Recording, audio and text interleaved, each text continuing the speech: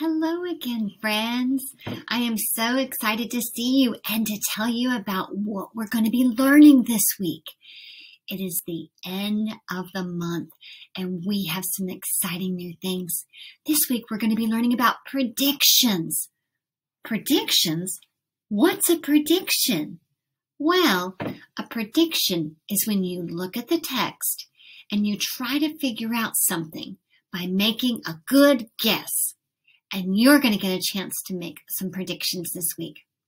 We also are going to learn not new Hunkin Chunks, but a new version on some old Hunkin Chunks. We've got EE and EA this week, but they're going to have some modifications.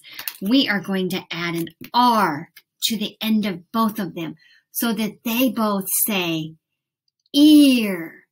We'll have E-E-R and E-A-R. So I hope you're excited about this week.